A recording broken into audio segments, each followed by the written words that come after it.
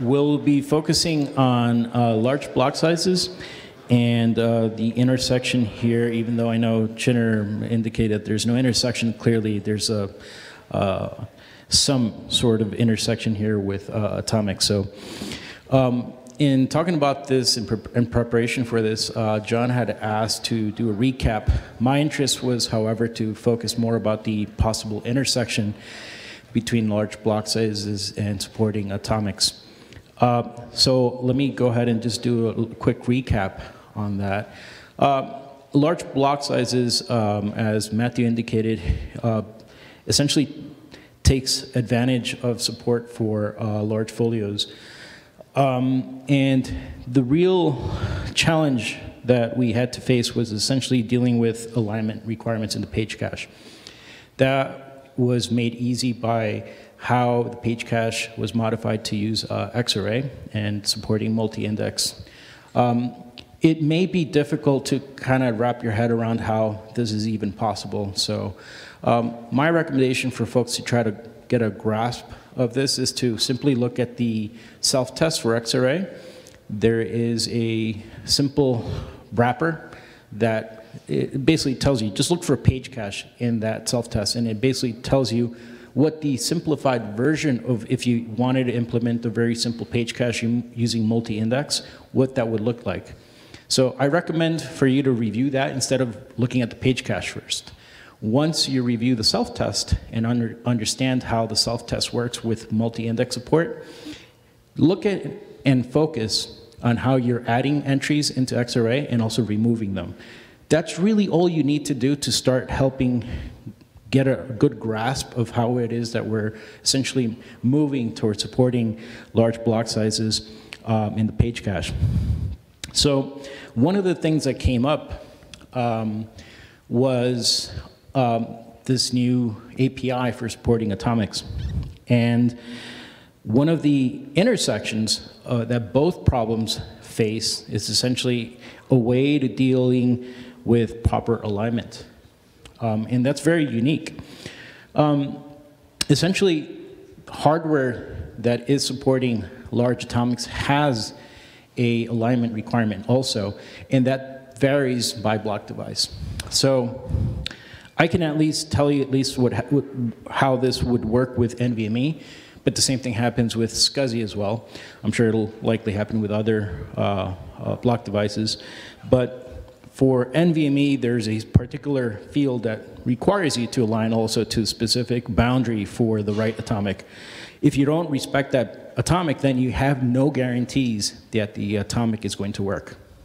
So yes, you can work with large folios and try to write, um, but if you don't have the alignment set, it just won't work. Um, so that's essentially where there is an intersection. I understand, Chinner, you had a point that there's no overlap here, but my point here is just that the intersection is on the addressing the problem of alignment um, and that the you know Xarray and supporting large folios and LBS is already doing this for us. Um, so then it dawned on me on trying to look over of how it is that we can support buffered I/O for um, uh, large atomics as well, and because that was not being addressed yet, and um, it occurred to me that likely it might be possible and much simpler to support that if we already take advantage of the alignment requirements with large block sizes. Given that you're already aligning your blocks to, let's say, uh, boundary for the atomics, then you already have that taken care of for you. So the next problems are really the crux of this is what else is left. Uh, but for that, I hope that we can address that in the next session. So what I'd like to do, though, is to first address some of the remaining components that are left to discuss for LBS. As I, as I said before, I, I really didn't intend to talk about just LBS alone because I think, really frankly, I consider that more like a done deal. What I'm hoping for is to try to address the next aspects that we should be talking about. For the next session, I hope that we can focus on buffered I.O. Um, I'm trying to be, be fast here so that way I can give as much time as possible for John to review atomics And so that way we can hash out what it is that we need to talk about for atomics as well. Um, and then dedicate the next session for the harder problem, which is buffered I.O.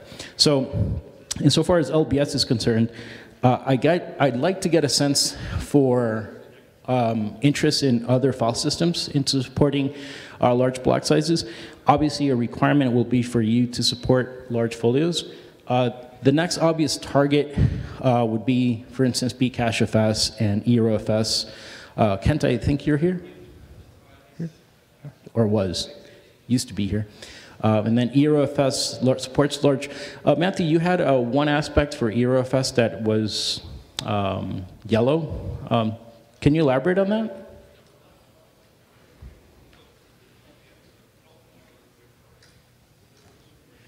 Uh, I've, I've, I've, got to admit to having done that slide quite late at night. Um, oh, no EROFS is, is, is, like mostly done, but there's still a few places left that use struct page.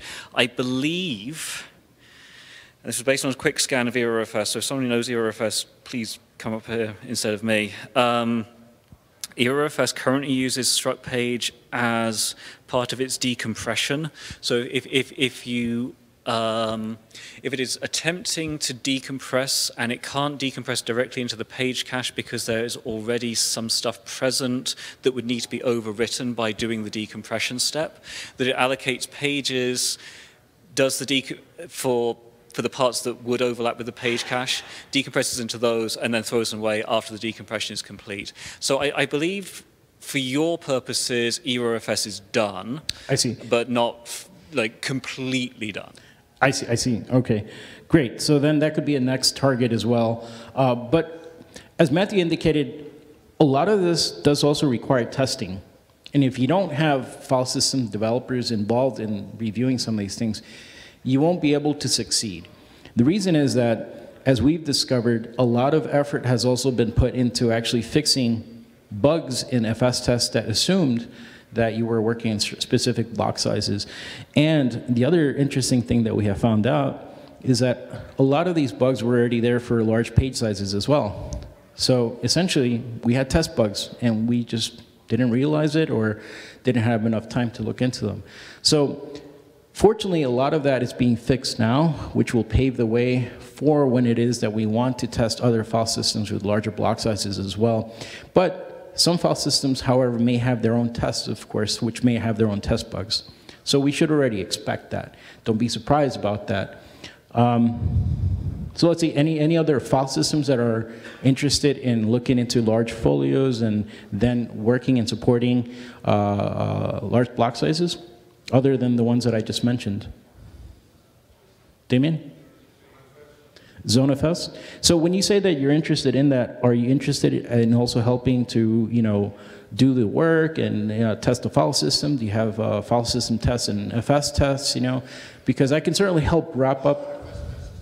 Say that again? Not FS test. So there's no FS test for ZoneFS. Yeah, if you can go to the mic, that'd be very useful. So I just wanted to say that um, ZoneFS already uses IOMAP, and so there is almost certainly very little work left to do. It's simply a case of inserting the calls to say, hey, I, I want to use uh, large folios, and then testing it. Um, because IOMAP really does take care of almost everything for you. It's just that it hasn't been tested, so I didn't enable it. Yes, um, so ZoneFS is a bit special, so FS doesn't work with it.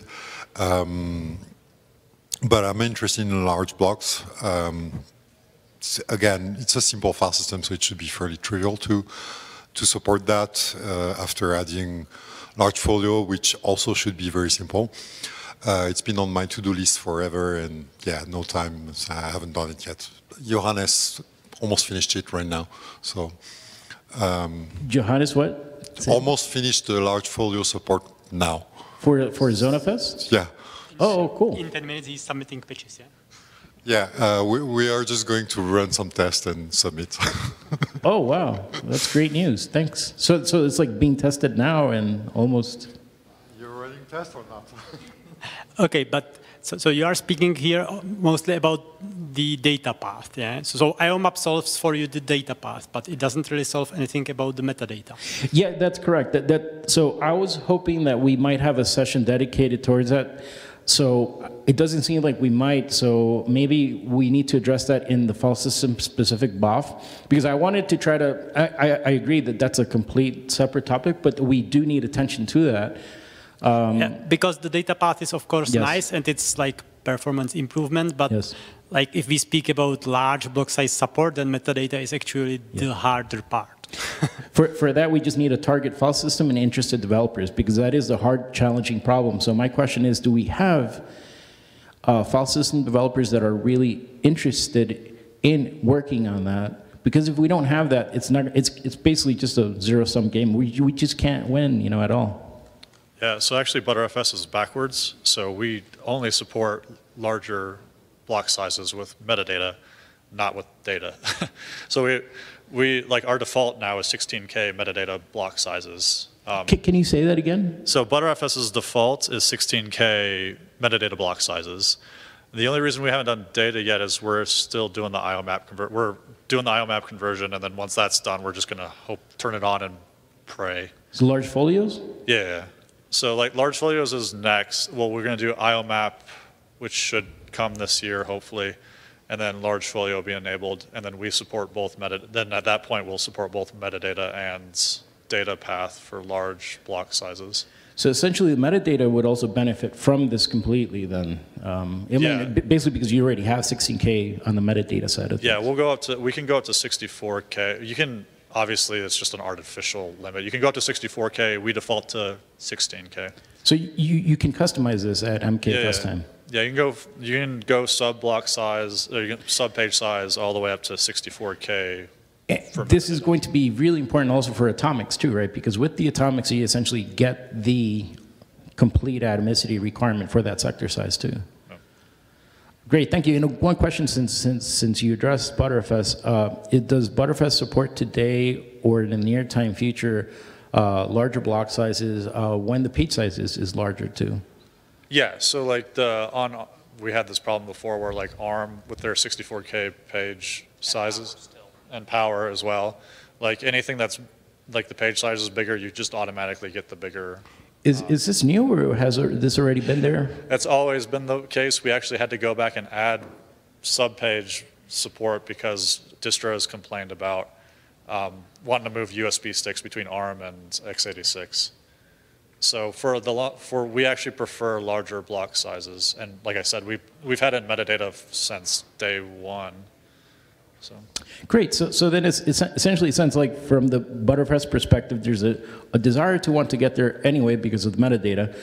And how about on the on the data side of a data data path? Is there interest to cross that bridge as well too from developer side to support larger block sizes too? yeah, yeah, I- like it's purely just the we're doing the IOMAP conversion. Like the direct path is already IOMAP. The buffer side has been trickier. I've reworked a lot of the locking to hopefully unblock that work. So hopefully it goes faster than it has been. Um, and once the IOMAP stuff is done, we're just going to like turn on huge page support and see what breaks and fix it. And then from there, like you can do whatever you want with the block size because it's configurable. Great, thank you. So uh, one of the things that we should then do is schedule time to make sure we talk about that uh, metadata aspect for, especially for buffer heads, right? Too, if we want to cross that world. I'm not sure we have any session yet to cover that, but if we're not addressing that in any of the BOFs for file systems, we need time to certainly talk about that. I, I don't know what it would take for buffer heads. I know we do the same thing that XFS does. So you guys have your own cache, you know, API to. Yeah, for metadata. And Dave, I assume you guys can do this? K- Sorry, can you can, Yeah, the buffer cache that XFS lift the uh, buffer cache from XFS to allow allow other file systems? Now, is is anyone working on a file system in, interested in doing that? Because, like. Yeah, but, but what file system would, would, would, would, could leverage that? Yeah, I mean, we could. Like, the, I'm, honestly, a lot of, So, I mean, the obvious target would be ext4, right? So, uh, is that, can, can you, uh, sorry, can throw, someone throw, pass a mic or? to- It's just easier. Is this thing on? Um, yeah, so Willy talked about uh, ext4 using buffer heads in a special manner for, for folios. Yeah. Yeah, for just the journal. Um, XFS has its own buffer cache and its own, essentially buffer heads, which have always been supporting up to 64K block sizes, uh, you know, regardless of the file system block size. So we've done that, you know, within XFS since, well, 1995. Um, so before it was even ported to, to, to Linux. Um, with the metadata, it's got its own, essentially its own structure and everything like that. We could just simply replace what buffer heads refer to with the XFS uh, buffer head object, essentially. And that gives all the same information, all the mapping, everything like that. Um, so we could actually lift that up out of XFS and make it, you know, generic. It's all basically generic. There's nothing particularly XFS specific about it at all. It's just a wrapper around a page allocator and also the slab allocator. So it already supports using slab allocation for sub-page size buffers. Um, and it supports uh, things called compound buffers, which are a buffer that is made up of multiple discontiguous blocks that we treat as a single contiguous structure in memory. So it's got vmalloc backing and all sorts of things like that um, that allow it to essentially take something that is designed for a contiguous 4K block and just map it straight up to 64K and it's still, a, in memory, a contiguous block. So you don't need to change any of the actual file system code for structures that cross page boundaries or anything of the sort like that. Um, so it's actually quite you know, simple to, to just say this is a 4K block, this is a 64K block, this is a 16K block, this is a 512 byte sector. Um, it's all the same code and nothing changes in the actual application itself. Great. Well, that's fantastic news. So uh, I'm kind of here just to say, like, as the guy who basically forcibly switched Btrfs's default to 4K because said problems with dealing with interoperability, um, I would generally, I'm, I'm appreciative of the, guy, the work you guys are doing with folios, is particularly supporting large folios and getting what I've been terming super page or super block uh, uh, support for us because, I mean, it's not just Btrfs where I've encountered this being downstream in Fedora Asahi Remix. Um, F2FS basically corrupts file systems on mount because of this. Um, and there's a couple of other file systems that um, they will either fail to mount, which is the good case, or they will overwrite in incompatible chunk sizes and break the file system entirely, which is sadly way more common than I want it to be. Um, so I, I'm just going to say, please do it as, you know, whatever you guys can do to make this less horrible for all of us dealing with different architectures with mixed page sizes and all the other fun nastiness. You know, I appreciate that you're working on it.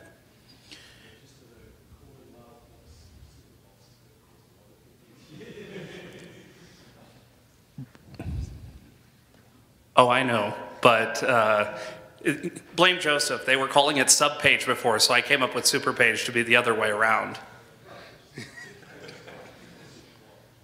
And this is why we ended up with Folio instead of with Superpage.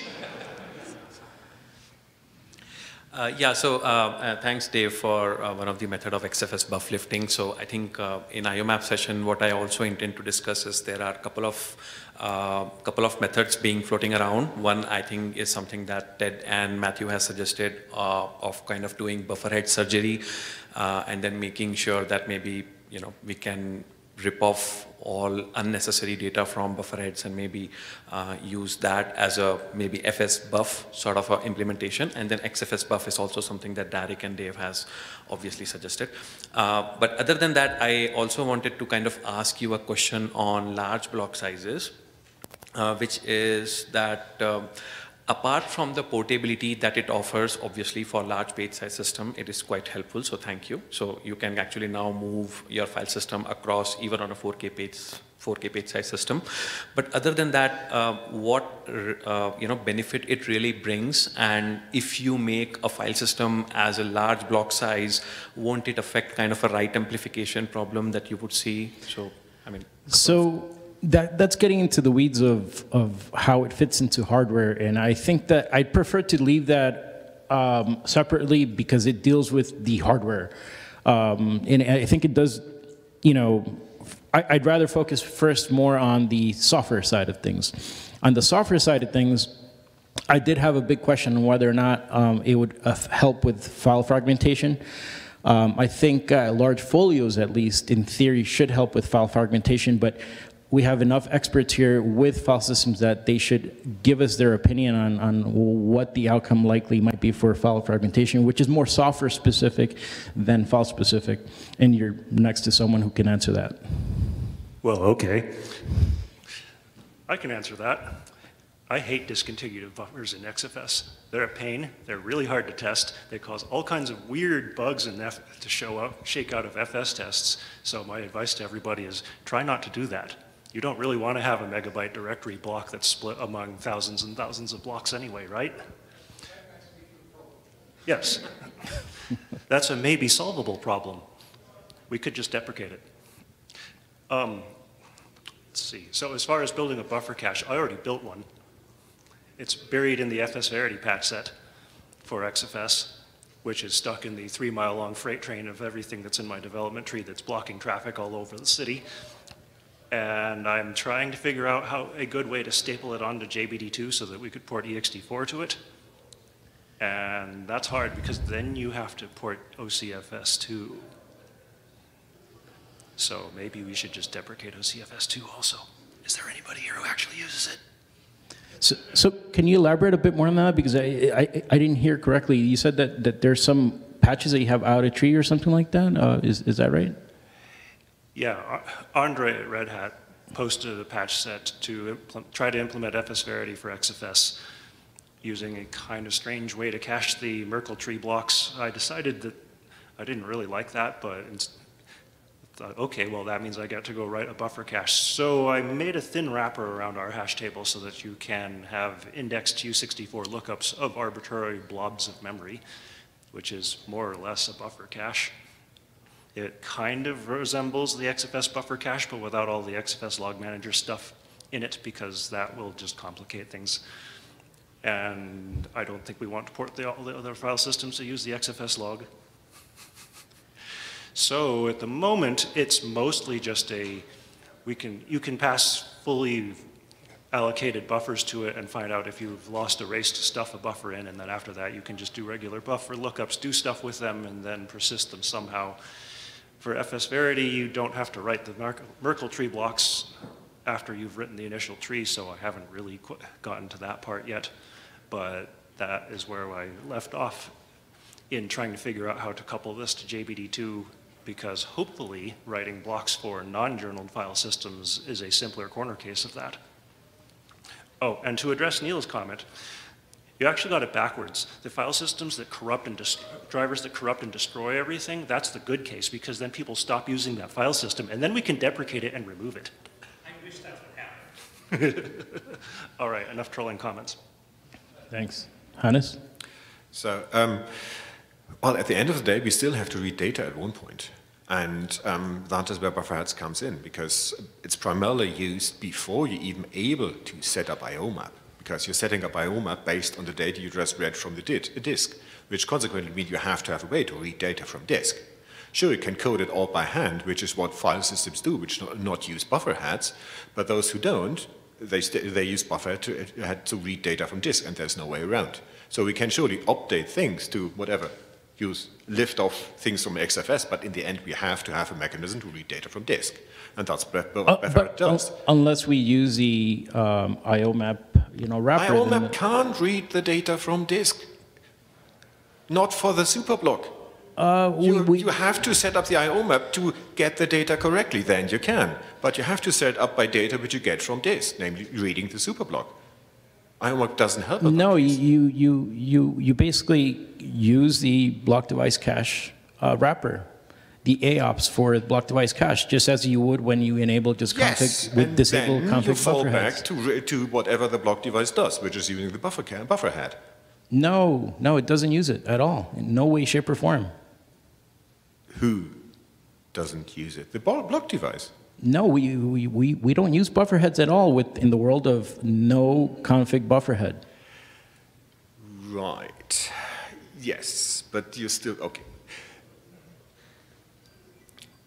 But this is only if you switch off buffer heads. Meaning you just switched off all devices, all files Well- which use buffer heads. I, I, I, we certainly should talk about that. Um, but yeah, I, let, us talk about that in a session. I think we should dedicate some uh, attention to the block device cache for sure. Yeah. So will we have a session for that? Question mark. Uh, let's have a BOF then, because I don't think we, we have it scheduled, but I, I think we should talk about that then. Amir? I don't know. We didn't really reach a conclusion of which session we should do. Yeah, Um, but there's slots, and we can decide. Um, yeah, if a let's- dedicated session for Bufferhead is needed, we can find the slot. I mean, so- or rather for, um, Them, do you want to lead it?